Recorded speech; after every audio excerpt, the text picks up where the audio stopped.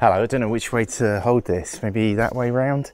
Hello, Neil. Welcome back to the Happy Hut. Uh, usually, this is the Tightwad Dad vlog where we are happy, we're trying to be happy with what we've already got. Uh, but at the moment, we're in the, the great shutdown of 2020. And so I'm trying to do something every day that I've not done before. And today, I'm going to explain how I made this a display for a bus blind, a bus destination board. And I actually built this four years ago. I don't know why I've not shared the footage. Now, I know if you found this by searching how to build a display for a bus blind, I know the one that you want. It's the display that I want, which has a handle that would crank up the blind and change the destination. I just couldn't afford that. And I'll tell you why in a moment how I got these bits together. But I'll put a link in the description if I ever find a video about how to build one of those. That would be awesome. But this is something slightly different. I went onto eBay and I found a, a destination that I wanted. It's something it's a place that's uh, very dear to my heart, Camden Road in London. It cost me about 15 quid what people are doing is they're taking the big strips and they're cutting them into single destinations. So this was about 15 quid and I love it. I really wanted to work out a way of mounting it and putting it up on the wall in a way that wasn't going to break the bank. I spent ages trying to find the right frame. I finally found it in of all places, IKEA. I'll show you the footage now. It's uh, it's actually a, a, frame that comes already with a print in it, Picasso. it's the Picasso print, but it's the exact dimensions that would be right for displaying my bus destination blind. So I had a frame, but what I really wanted to do was to put a light behind this. So I got an LED light strip, and I needed to work out a way of putting this blind at the front of the frame so then I thought, well, if I got some perspex, and I got this perspex from Wickes or, or B&Q, and I cut the perspex to the size of the frame, then I could put the blind onto the perspex and have the lights behind it illuminating this from behind. But that meant there was a gap at the top and the bottom. So then I got this black spray from Poundland. It's a, I think it's a gloss car spray might not even be the right paint for, for Perspex. Leave a comment below if you've got any other tips, but it worked for me. All I needed to do was to mask off the bit in the middle that is the right width, or rather the, white, the right height for this blind. So then I put the, the masking tape on, I sprayed it, uh, removed the masking tape and put it all together. And that's what this video is about. It's pretty much in real time, so you can uh, follow along with me. I hope I hope this helps someone somewhere find a way to display their beautiful bus blind. So this is what I've used for the background. It's an IKEA Picasso picture. Is that copyright? Probably. Mass produced by IKEA. But inside I've drilled a hole and from Lidl I've got these LED strip lights. So that will be the back of the frame so the idea is that if I have that in front, that'll be lit up.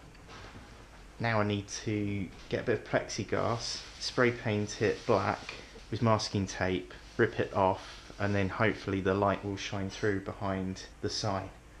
This is what I've used. It's uh, black gloss car paint from Poundland.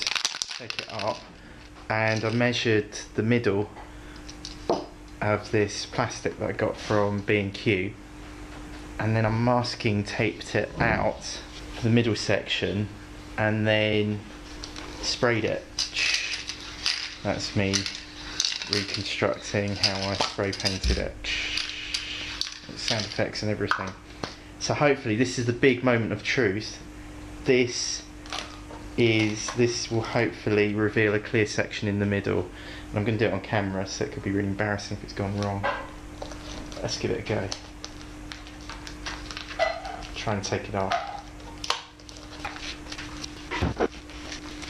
Um, there might be a way to get that off. The, the back of the masking tape's left a mark on the on the glass with some of the glue's been left behind from the masking tape but I think that'll come off with surgical spirit trick is to do it slowly. Ah, big section there. I'm going to go close so you can see how the edge is going to come up. Right, the trick is to do it super slow. Look, can you see there's a straight edge coming off now?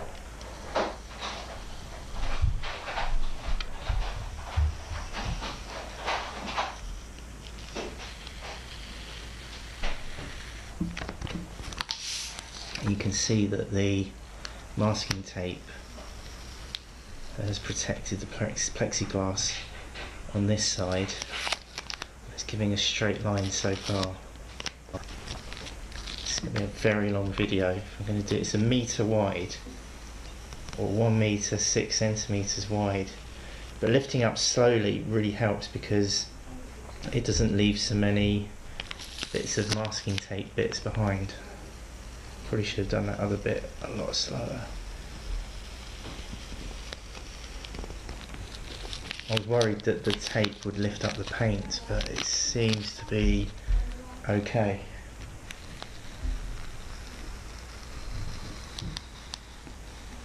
I'm also hoping that because the bus blind is going to be behind this and it's black, that it won't look, if there are any jaggedy edge problems, that it won't look too bad because the blind will be up against it. When I put the masking tape down, I really rubbed it down hard with my fingernail. That seems to have paid off. Oh, I'm a bit frustrated by, you see those, there's a big mark there the, uh, the bit of masking tape is just all over the place.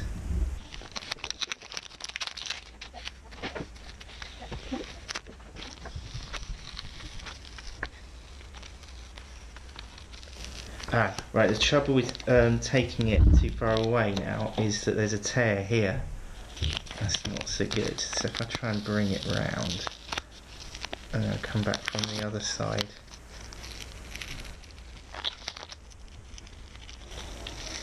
Okay, that's lifted that up. That's good. Let's try and go from the other end. I'll probably put the whole thing on one really long video so you can live along with the tearing with me. So it might be easiest to remove the middle one first. Let's try that. Do it really super slowly and to make sure that the pull is close to where it's coming off the plastic sheet, the acrylic. That seems to be a much cleaner way of getting it off. And now I'll do the the next section. And also I left the, on the acrylic sheet, I left the protective, there's like a protective sheet on both sides. I took it off this side, obviously, to lay down the masking tape, but I left it on the other side just in case there was any spray paint or, you know, uh, spillages. It's hopefully protected on the other side. Right, here goes for the clean edge. Uh, split, so I've got to do try and join it up and then move it really slowly. The spray paint was uh, was dry in about half an hour. Uh, if you do it in quick layers, but I had to do lots of layers, so I got through a couple of cans. You don't get that much paint in in the can. And even now there are sort of spits and spots, which I'll try to show you later. But I might I might just cover those with marker pen. I think using the spray paint has, has helped because it flexes with the glass if I did it with gloss paints, I think I'd be worried that it would crack and fall off or come off with the tape. And I laid down the two strips first to get my edges, and I, I ran a pencil line with a metal ruler full length just to make sure that it was dead straight. And then I filled the middle with uh, two extra bits of masking tape. Still not sure if this is the best way to mount the bus blind, but we'll see how it looks in a minute. And this should be completely clean, so I try not to touch it too much, but getting my greasy mix all over it. Yeah, see there's a bit come off there. Ah, put more on. Oh well. Try and find a way to lift that off in a sec. I'm going to time jump this, so I'll do that um, off camera, but I'll just finish this section off here. Here comes the final section. I'm going to separate it from that so I can do it in two bits. Take this one off first, and then I've got to lift up one way and the other. There's loose sections. Let's do this one first. Yeah. And then this one. There we go. Perfect line. Let's see if I can get this off. So I'm going to try and lift it off in a way that lifts that off.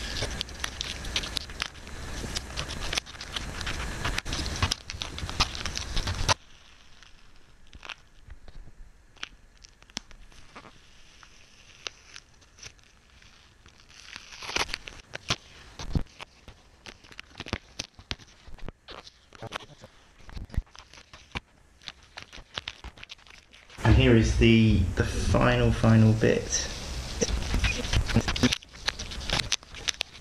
There you go. There you go. So it's a complete blackout blind for the bus blind. So it sort of works something like this. Can't doesn't look too bad, does it? But it'll fit inside. Looks really good. There you go.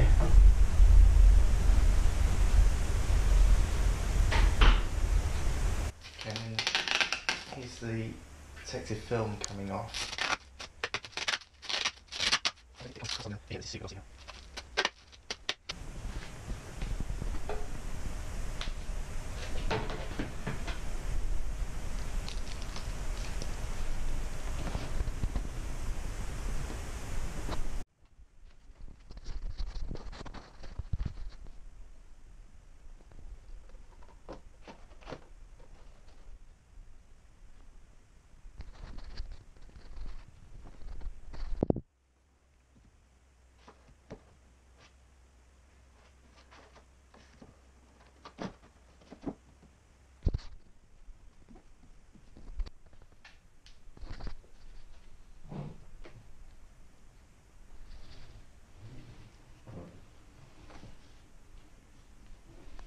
So that's how my display for my bus blind or my bus destination board finished up. It looks beautiful, doesn't it?